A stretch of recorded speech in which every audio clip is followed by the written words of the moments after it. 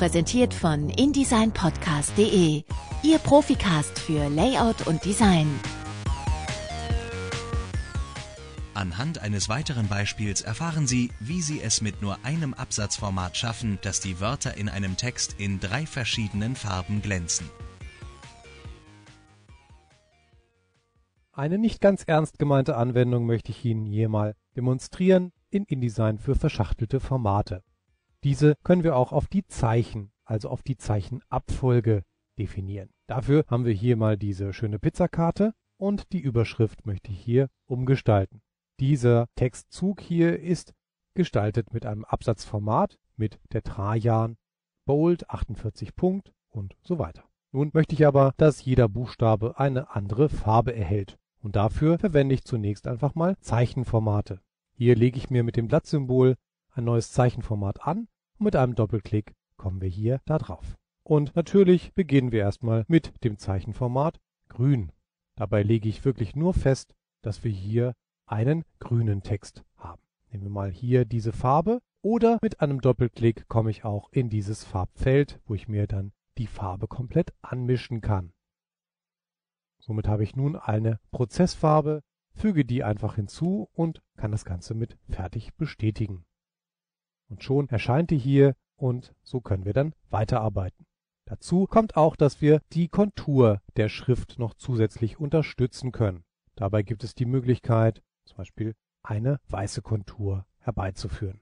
Hier gibt es noch die Möglichkeit, die Kontur konkret einzurichten, und zwar die Stärke. Dabei nehme ich mal zwei Punkt und wir setzen die Kontur nach außen. Das bedeutet, die Typografie wird mit der Kontur nach außen hin gesetzt. Was das heißt, sehen wir gleich, wenn wir diese Formate anwenden. Nun haben wir also erst einmal ein grünes Zeichenformat. Das probieren wir hier mal konkret aus. Wir nehmen einfach mal zwei Buchstaben und wenden dieses Zeichenformat an. So sieht das Ganze also aus. Die Kontur liegt hinter der Typografie. Das bedeutet also, die Schrift wird hier von der Typografie nicht weiter verdeckt. Kommen wir mal wieder zu unserem Zeichenformat. Und wir legen uns natürlich noch weitere Zeichenformate an, und zwar natürlich ein weißes Format.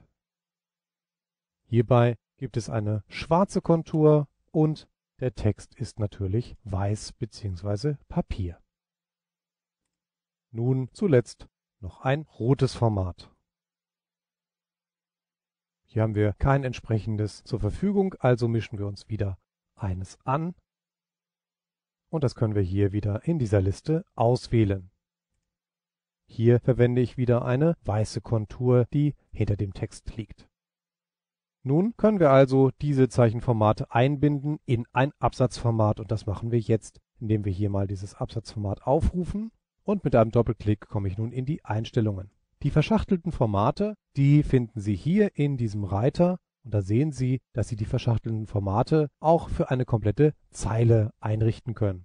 Wir wollen das allerdings für einzelne Zeichen tun. Also nehmen wir mal ein neues verschachteltes Format. Wir beginnen natürlich mit der grünen Farbe über ein Wort. Oder wir nehmen dafür einfach nur ein Zeichen.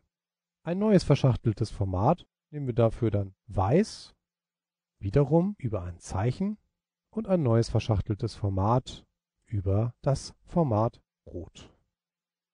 Nun sehen Sie also, dass das hier mit Weiß beginnt und mit Rot folgt. Wo ist denn nun eigentlich das Grün geblieben? Nun zunächst, wenn ich hier diese Formate einrichte, so könnte ich sie jetzt natürlich noch weiter ergänzen, aber ich möchte einfach nur, dass diese Formate wiederholt werden. Grün, Weiß, Rot, Grün, Weiß, Rot und so weiter.